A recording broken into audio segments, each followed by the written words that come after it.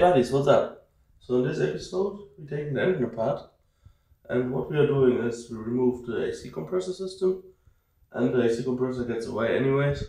We're taking the whole engine apart, we're taking the pistons out and checking the piston ring gap from the new rings. So I got the most of the motor already apart, and I'm about to get the uh, pistons out, and I'm working on the piston rings right now. Here's one of the new piston rings and uh, now I show you what my problem is.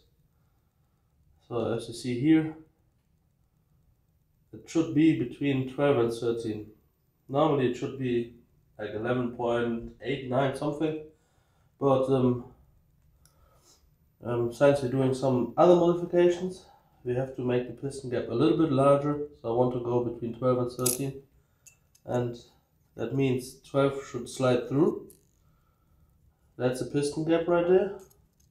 And 13 should be not go in there. And here we have actually 19. And 19 is the biggest one I get through.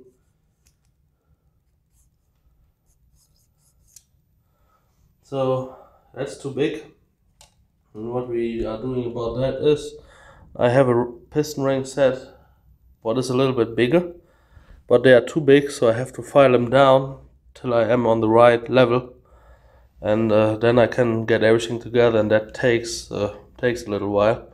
But I want to put it accurate together and uh, there are steps you have to do. Okay here we we got the pistons. And as you can see it in the lowest right there. And the lowest ring that is the um, the ring who keeps the oil down. And um, yeah what he makes is like he's, he scrapes the oil down the cylinder walls and that is all what he is for. And the top rings are compression rings. And you can see the lower ring is full of some dirt stuff. Oil. Oil oily dirt. Okay the first piston is already in there. You can see it here. Yeah the first piston is already in. We're working on the second one. I can see I painted the engine already black. It's clean and painted in black here I'm working on the second piston. Other ones are still dirty. I cleaned it up. Um, cleaned the ring. Uh, cleaned the seats for the rings. And um, yeah, so I adjusted the ring gap already. That's the first compression ring. That are the old compression rings. And that is the oil.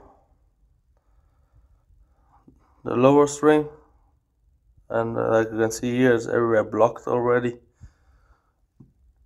Some stuff is on there. So that is one of the reasons why the oil usage was going up. And um, yeah it's getting the new piston rings. And then I have my compressor here. And the compressor goes above the piston. You tie it together. It compresses the piston rings. And then you can just push back into the engine.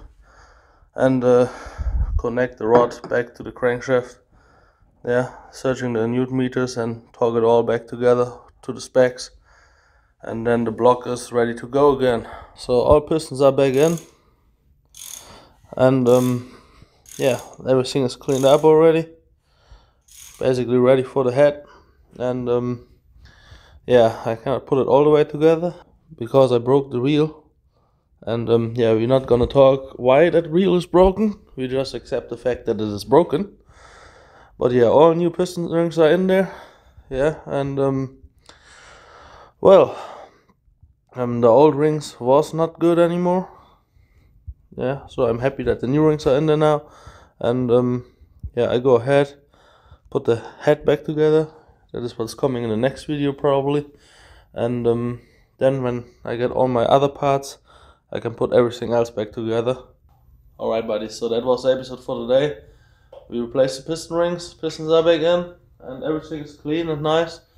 And um, we got ready to install the rest of it. I know it's a short video today, but well, it is what it is, buddies. See you next time.